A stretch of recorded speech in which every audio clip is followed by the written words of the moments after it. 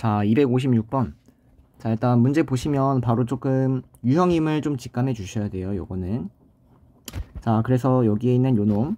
2의 x 더하기 2의 마이너스 x를 내가 t라고 치환하면 t는 2보다 크거나 같다라는 범위를 갖게 된다라는 거. 2보다 크거나 같다. 자, 그래서 일단 치환해서 식을 먼저 써보면 주어진 얘가요. t제곱 마이너스 2가 되고요. t제곱 마이너스 2 더하기 18이 주어진 얘는 여기 t에다가 2를 곱한 거죠. 그래서 a 곱하기 2t다 이렇게 써주시면 될 것 같아요. 자, 그러면 얘는 정리하면 t제곱 마이너스 2at 플러스 16이 0이 되는데 얘가 적어도 하나의 실근을 갖는다 이렇게 되어 있는 거죠. 적어도 하나의 실근. 자, 근데 t의 범위가 2보다 크거나 같다라고 존재하고 있는 상황이니까 판별식을 쓸 게 아니라 지금 그래프로 해석해야 되고요. 그러면 적어도 하나의 실근을 간다는 이 말은 교점이 적어도 하나 존재한다라는 거죠. 교점이 존재한다. 그래서 왼쪽 그래프를 그리고 오른쪽 그래프를 그려서 교점이 존재하도록 하는 A의 범위를 찾아달라는 문제입니다. 자, 그러면 그래프를 그려보면 아래로 볼록이고 대칭축이 t는 a다라고 이렇게 표현해 주시면 되는데 지금 t가 2보다 크거나 같은 데를 그릴 건데 2가 2의 위치를 모르니까 2를 왼쪽에서부터 천천히 찾아보면 2가 이렇게 찍히면은 그래프가 이렇게 한번 꿀렁해서 이렇게 나온다는 얘기고요. 얘가 첫 번째 케이스고요.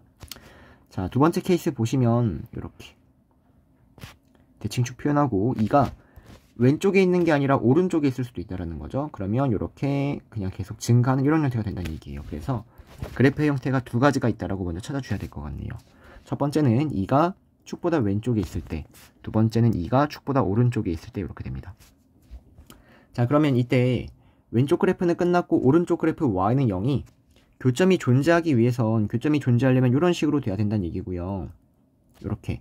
자, 그러려면은 아, 이 t가 a일 때 y 좌표보다는 위쪽에 있어야지 y는 0이 위쪽에 있어야지 교점이 존재한다는 얘기가 되겠네요.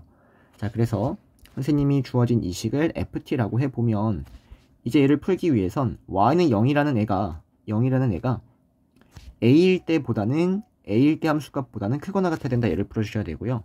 자 마찬가지로 여기 보시면 얘는 y는 0이라는 직선이 이렇게 존재해야 되죠. 그러면 아 2일 때 함수값보다는 크거나 같아야겠네요. 얘는 그래서 얘는 0이라는 애가 f2보다는 크거나 같다 얘를 풀어주시면 될 것 같습니다. 자 그럼 이제 풀어주시면 여기 갑니다.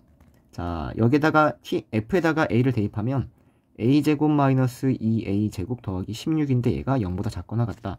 정리해 주시면 a제곱 마이너스 16이 0보다 크거나 같다가 되고요. a는 4보다 크거나 같거나 마이너스 4보다 작거나 같다 이렇게 되겠네요. 자, 그러면 요놈하고 요놈을 동시에 만족시키는 답은 a는 4보다 크거나 같다 얘가 답이 되겠고요. 자, 그 다음 여기서는 f2를 구합시다. 자, F1을 구하면 2를 대입하니까 여기다가 2를 대입하는 거죠. 4-4a 플러스 16이 0보다 작거나 같다.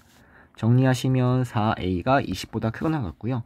a는 5보다 크거나 같다 이렇게 나와요. 그럼 요거하고 요거를 동시에 만족시키는 답은 없네요. 그러므로 답은 a는 4보다 크거나 같다. 얘가 답이 된다는 얘기입니다. 자, 넘어가서 257번.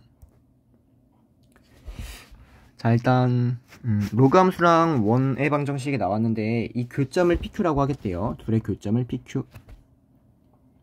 자 그러면 이 PQ는 교점은 연립이니까 얘하고 얘를 연립해서 우리가 풀 수 있으면 답이 나올 텐데 로그 함수랑 주어진 뭐 2차식은 우리가 풀 수가 없어요. 연립이 안 돼서 어쩔 수 없이 지금 그냥 교점을 잡아가면서 뭐 근과 계수에 관계된 여러 가지 식을 좀 활용할 수밖에 없을 것 같아요. 자 그럼 일단 문제 보시면 P하고 Q가 원의 지름이라고 나왔는데 이 지름이란 걸 어떻게 활용할 거냐면 얘가 지름이다라는 거는 둘을 이등분했을 때, 즉, 즉 둘의 중점 자체가 원의 중심이 된다라고 얘기할 수 있다라는 거죠. 둘의 중점 자체가 원의 중심이 된다. 자, 그래서 선생님이 여기 P의 좌표를 뭐 알파, 컴마, 로그 A 알파 이 Q의 좌표를 베타, 컴마, 로그 A의 베타라고 잡아버리면 우리는 주어진 PQ의 중점, 즉 2분의 알파 더하기 베타 컴마 2분의 로그 A의 알파 더하기 로그 A의 베타가 저 원의 중심 4분의 5 컴마 0이 된다라고 구할 수 있었다는 겁니다. 이렇게 음, 연립을 하려고 해봤자 할 수가 없으니까 다른 여러 가지 이런 식들을 좀 활용한다라는 거죠. 자 그러면 여기에서 알파 더하기 베타는 2분의 5다 얘가 2분의 5다라고 나오고요. 자 그 다음에 여기서는 여기는 이 분자가 0이 돼야 된다라는 거죠. 그러면 로그 A의 알파 베타가 0이니까 결론적으로 알파, 베타는 1이다 이렇게 나온다는 얘기예요. 자 그러면 합하고 곱을 알고 있으니까 2차 방정식을 빠르게 세우시면 두근의 합이 2분의 5고요. 두근의 곱이 1이니까 이놈의 두 근을 알파, 베타 이렇게 생각해 주시면 되겠네요. 그럼 양쪽에 2를 곱하고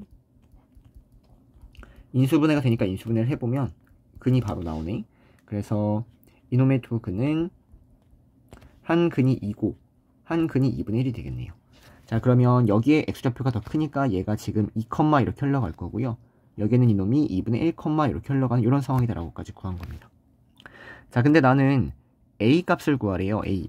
음, 자 그럼 이 a 값을 구하기 위해선 이놈의 y좌표까지 내가 찾아서 얘가 여기 위의 점이다라고 푸셔야 되는데 이놈의 y좌표는 이제 이 원의 방정식을 활용해서 찾으면 되겠네요. 여기에는 이 2, 네모라는 애가 이 로그람, 로그라는 함수 위의 점이기도 하지만 이 원의 방정식 위의 점이기도 하다라는 거죠. 그래서 여기에다가 x에다가 2를 대입하면 2-4분의 5의 제곱 더하기 네모의 제곱이 16분의 13이다라는 걸 활용해 주시면 네모의 제곱은 자 주어진 얘 계산하면 얘가 4분의 3의 제곱 즉 16분의 9가 나옵니다. 그럼 얘가 넘어가니까 16분의 4가 되고요. 4분의 1이 나온다는 얘기예요. 그러면 네모는 뿔마 2분의 1이 될 텐데 얘가 지금 y좌표가 양수니까 얘가 2, 2분의 1이 된다는 얘기입니다. 자, 그러므로 답은 로그 a의 2가 2분의 1이 된다는 얘기니까 a의 2분의 1제곱이 2다. a는 4다. 이렇게 답을 구할 수 있겠네요. 그러므로 답은 3번 이렇게.